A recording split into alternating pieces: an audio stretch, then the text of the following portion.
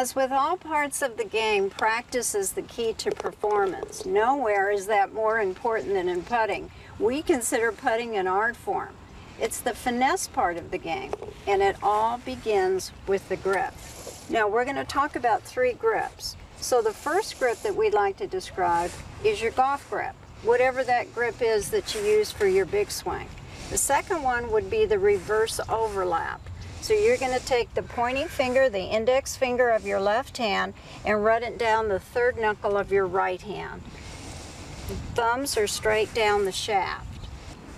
And our last grip was our left hand low. So you're going to take that left hand, put it low on the grip, and then the right hand is right up at the top. Very nice. And now, Donna, what were your keys when you played the tour? Three keys I had is first I take my golf ball and I put a black line on it for alignment. Now this five footer that we have here is a straight in putt. So what I do is I set the ball down and I'd line that black line up at the center of the hole. I'd visualize a line from the hole all the way back to my ball. Then when I address the ball, I use the line on my putter, lines up behind the golf ball, and now I just have to worry about speed. The second thing I'd worry about is I'd always have to have my eyes directly over top of the ball. I had a bad habit of getting my eyes way back here. I'm trying to putt on this line, but my eyes were looking here. The other problem I used to have is, is that when I'd putt, I'd come up when I'd putt. I'd like to keep the putter head as low to the ground as I possibly could. And I worked on that for hours, making strokes so that I'd make sure that the left hand would go down the line. So I'd set up, nice wide base, hips are rotated out, the lines on my putter and the line on my ball, take the putter head straight back, straight through.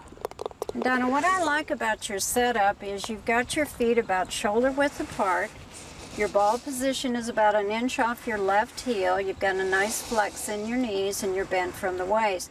I think the key in putting is really keeping the lower body still, keeping the head still, and letting just the shoulders rotate and swivel. Very nice. Now, Janet, you have new student comes to you. Which grip do you teach them right off the bat? Yeah, I like to teach uh, teach uh, beginners and juniors the left hand low.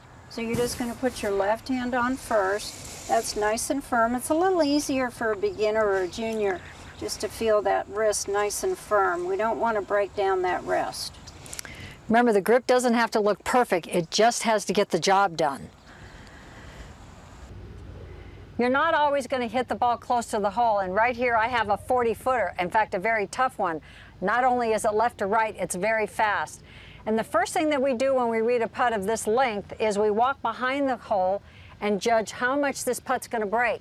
We see the recreational player go on the other side. What we do is we go to the low side. So I'll walk down here. Janet's going to walk up and spot where the apex is. At this point, this is what we feel is the pinnacle or the high point of the putt. So when Donna hits this ball, she's going to try and track it to this position. Then it's going to feed down to the cup, maybe about two and a half feet, right in this area right here. So when I line up, I take the line on my golf ball and I visualize a line where Janet's pointing all the way back here. I set my ball down and obviously I'm trying to lag it down there close, maybe a foot, maybe two feet. Love to just tap this in and make a par. This is a difficult putt.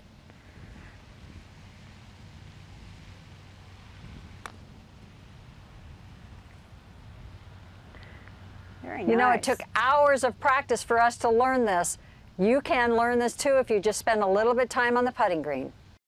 Putting, we can say, is an art form, but it takes a lot of practice.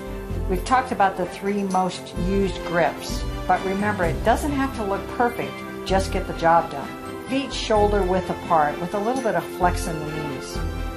Important to have your eyes directly over top of the ball. Keep a triangle with the shoulders and arms throughout the stroke. It's a must to keep your head and lower body still. Use a line on the ball to aid in your aim. Keep putter low to the ground throughout the stroke. It just takes practice, especially on long putts, to develop good speed and pace.